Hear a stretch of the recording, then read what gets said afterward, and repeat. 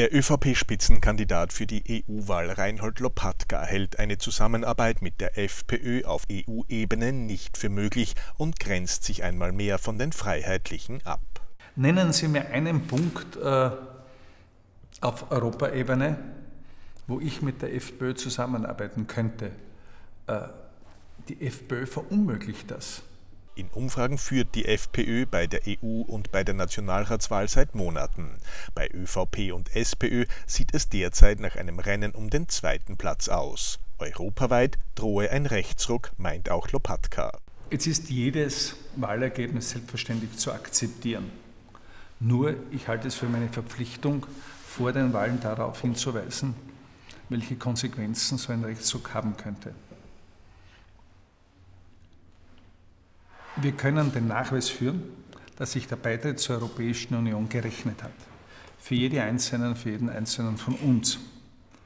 Und jetzt davon zu sprechen, dem Irrsinn, dem Wahnsinn ein Ende zu bereiten, also in der Millisekunde würde ja der Herr Wilimski auf diesen roten Knopf gerne drücken, das Europäische Parlament als Irrenhaus abzutun, zu plakatieren, dass die Europäische Union ein Kriegstreiber sei und dass auch hier dieser Wahnsinn zu stoppen sei, das zeigt einerseits die Gefahr, die hier äh, schon latent vorhanden ist, nämlich mit einer Stimme für die FPÖ die Europäische Union zu schwächen.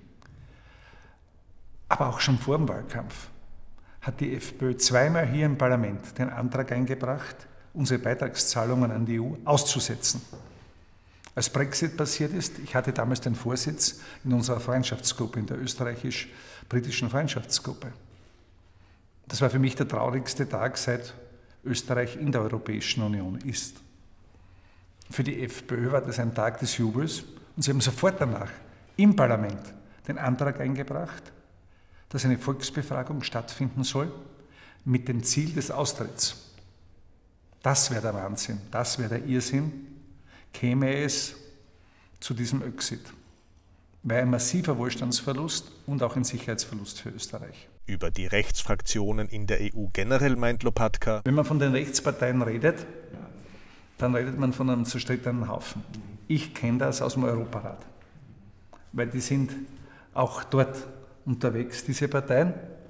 Äh, allein die Frage, äh, wie sie sich positionieren im Krieg den Putin in der Ukraine begonnen hat. Riesige Unterschiede, riesige Unterschiede. Und das ist schon eine Schlüsselfrage auch in den nächsten Jahren. Seine Partei, die ÖVP, will Lopatka bei der Wahl zur mandatstärksten Partei machen. Wir sind Teil jener Fraktion, die bei allen Europaparlamentswahlen das größte Vertrauen bekommen hat, die Europäische Volkspartei. Das ist immer ein wichtiger Teil aber im Vergleich zum Beispiel zur CDU und CSU-Fraktion waren wir natürlich immer ein kleiner Teil unserer großen äh, Fraktion. Äh, und da gilt es auch hier mandatsmäßig den Beitrag zu leisten, dass wir europaweit Erste bleiben können.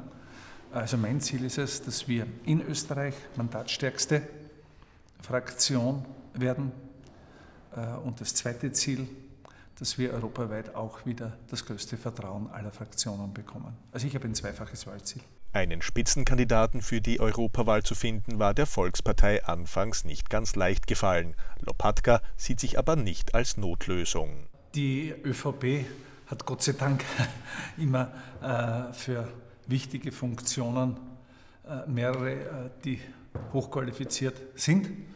Äh, und bei den Europaparlamentswahlen war es auch so. Äh, daher äh, war es für mich ganz klar, als ich gefragt worden bin, äh, hier Ja zu sagen. Warum? Äh, schon seit meiner frühesten Jugend äh, war Europa ein Herzensanliegen, eine Herzensangelegenheit von mir. Die EU-Klimaziele hält der ÖVP-Spitzenkandidat mit dem von seiner Partei geforderten Weiterbestand des Verbrenners für erreichbar. Das ÖVP-Motto Klimaschutz mit Hausverstand will Lopatka nicht als Absage an die Wissenschaft verstanden wissen, die überwiegend mehr Anstrengungen zum Klimaschutz einfordert. Ich möchte die Freiheit der Wissenschaft, ich möchte einen technologieoffenen Zugang. Ich möchte, dass nicht die Politik diktiert, es gibt nur eine Lösung. Verbrennermotor, Elektroautos. Es gibt nur mehr ab 2035 das Elektroauto.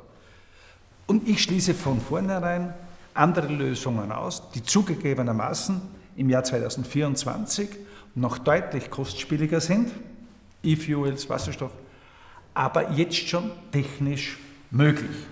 Ich möchte, dass das Ziel ganz klar von der Politik vorgegeben wird. Also kein Abweichen von den Klimazielen. Erster Punkt. Zweiter Punkt, kein Abweichen vom wissensbasierten und an der Wissenschaft sich orientierenden Zugang. Überhaupt nicht. Überhaupt nicht. Also mit Klimaleugnern habe ich aber absolut null zu tun. Nicht die Hand ins Feuer legen will Lopatka für eine zweite Amtszeit von EU-Kommissionspräsidentin Ursula von der Leyen.